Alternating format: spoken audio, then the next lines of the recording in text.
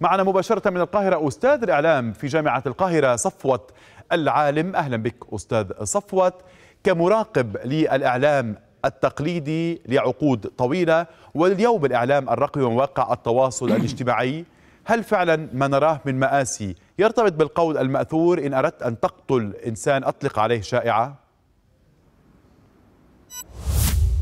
آه، مفيش شك في السنوات القليلة الماضية تعاظم الدور الذي تلعبه وسائل التواصل الاجتماعي في كل القضايا الهامة وفي كل الأزمات والمشكلات الحياتية والمعيشية والسياسية.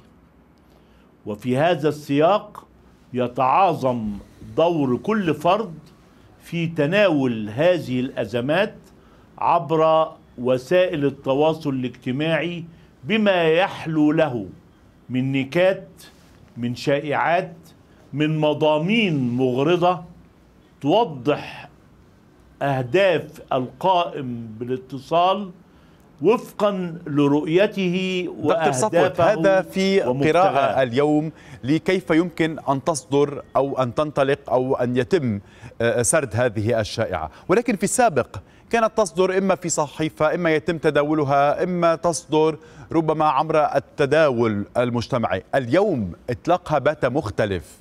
آه، تطلق الشائعة في منطقة ما آه، تذهب لتصبح فايرل أو ما يعرف بوسائل التواصل الاجتماعي بحالة الترند وهذا ما يشكل التداعيات النفسية أو خطورة اليوم المعلومات الكاذبة.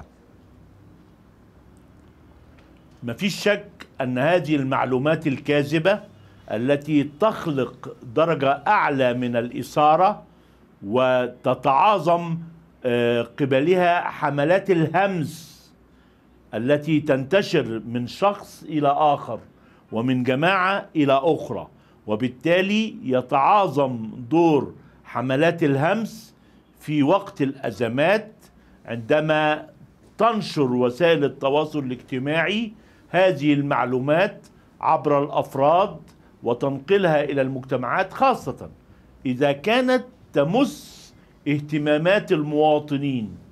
فأنا أهتم بالمشكلة التي تمس حياتي ومهنتي وأساليب معيشتي.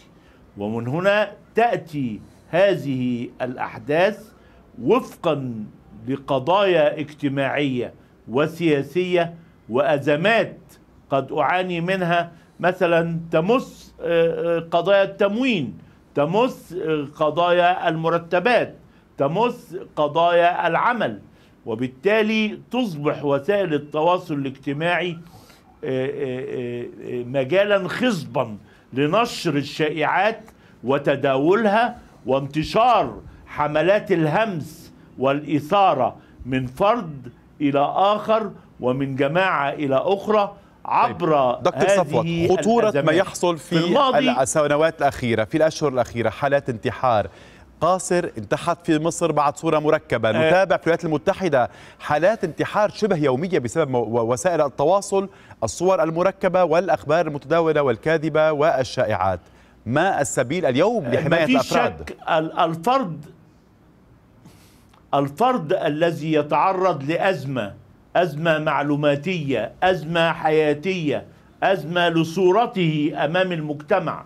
هنا يتعرض لانعدام الأمان النفسي وال- والوجداني واهتزاز صورته في المجتمع الذي يعيش فيه ومن هنا تصبح حياته آه، آه، متعرضة لأي أزمة في هذه آه، في هذا السياق. ومن هنا يتعرض للانتحار يتعرض آه، لتشويه صورته وبالتالي هذه الأمور آه، آه، انتشار الغموض حول حياة هذا الشخص يتحقق بمقتضاها مبررات.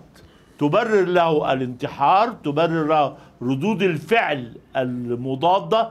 الشخص الذي يتعرض لجريمة أو لأزمة أو لفضيحة كل هذه الأمور تحقق تهز صورته في طيب، المجتمع ما المطلوب بعد تقرير المركز مشكلات الإعلامي لمجلس الوزراء. في مصر دكتور صفوت لمواجهة ما يحصل ومن تداعيات.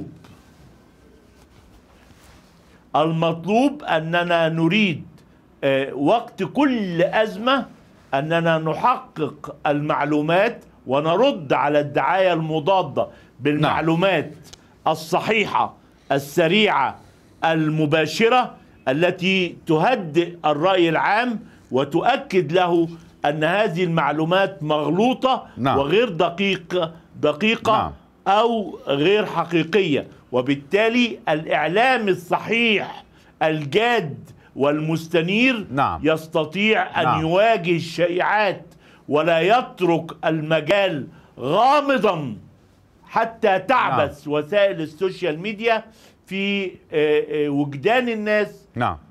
وسمعتهم نعم. ومقرراتهم. أشكرك دكتور صفوت العالم أستاذ الإعلام في جامعة القاهرة. كنت معنا مباشرة من استديوهات سكاي نيوز عربية في العاصمة المصرية.